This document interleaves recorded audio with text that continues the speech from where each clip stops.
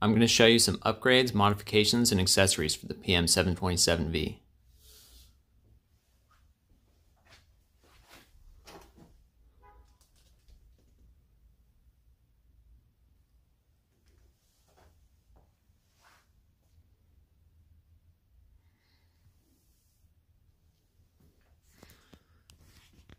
First thing I did was to replace this accordion style waist cover for the Z-axis. It, uh, it stretches and expands. It mounts to the bottom of the headstock there and would connect to the column with those two holes. And the problem that I was having with it was it's about an inch and a half deep and it goes all the way down to here. And so when I was moving the y-axis, the back of my vise would hit it. And so by removing it, I gained a whole one and a half inches of y-axis travel. So that's a huge help. I replaced it with this neoprene cover and I bolted it to the headstock using the same two holes for the accordion style cover. The next thing I did was get the Priest Tools Power Lift. That is a real lifesaver. It, uh, it comes with that motor that you attach onto the top of the column and then it connects to the Z-axis lead screw. And then it wires to this uh, panel that you install in the control box and now all you have to do is flip the switch to raise and lower the headstock.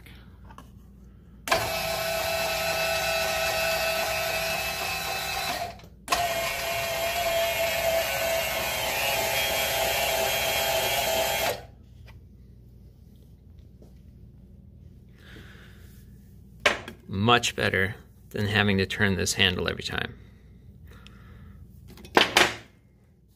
Another thing I did was replace the stock handles. This, this handle was on every hand wheel, and I replaced them with these rotating, collapsing handles from McMaster-Carr. And that helps keep them out of the way, keeps from jamming your back up against these things. And I have so many rolling machines in here that something's going to run into that.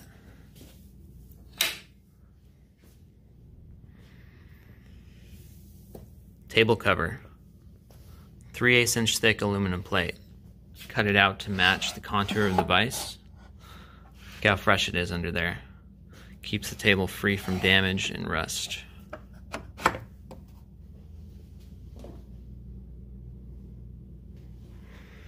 Now the left hand wheel did not come with a graduated dial, so I talked to Precision Matthews about getting these two parts. It's the press fit sleeve and the graduated dial. Same ones for the other two hand wheels. And they said it wouldn't work. That's what the factory said when they tried to order them, that those two parts would not work on the left-hand side. And I knew that it would if I just installed a set screw. So I had to mill out that little spot to install a set screw. And that tightens it down onto the arbor. Now it works great. I forgot to mention that I ordered the new hand wheel as well. And this is actually why the factory said this wouldn't work. This is the part that was originally on here. You can see it has a set screw, and this interlocked with the original handle, which I've moved onto the column. So when I'm using the power lift, I don't have this big handle spinning around.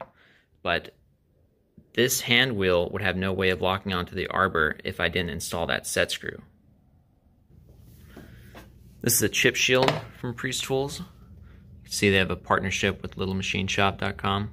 I had one of their mini mills before. That was kind of my introduction to uh, benchtop milling machines.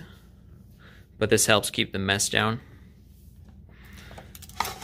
It's got two powerful neodymium magnets, and I made this little stand for it. It's like a two-tier stand.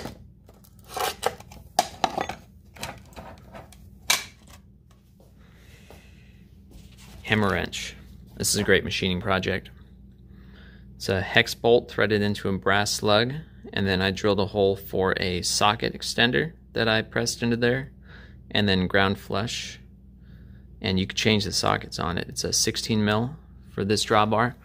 So the way this works up here is you open the door, there's the drawbar and the motor and this makes tool changes a lot quicker. Loosen it, tap it, get your tool out.